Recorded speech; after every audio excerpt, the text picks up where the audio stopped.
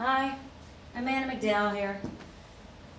This is specifically for teachers who want to know the first part of Watch Me, better known as the Whip Nae by Silento.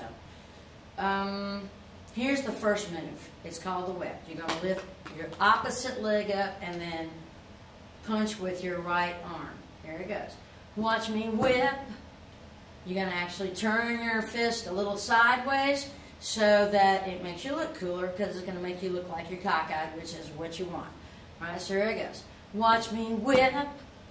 Watch me. Nae nae is when you throw one arm down, your other arm up, and you're waving. You're waving all your fans. It's all so wonderful. Hello, Jesus. You're doing that.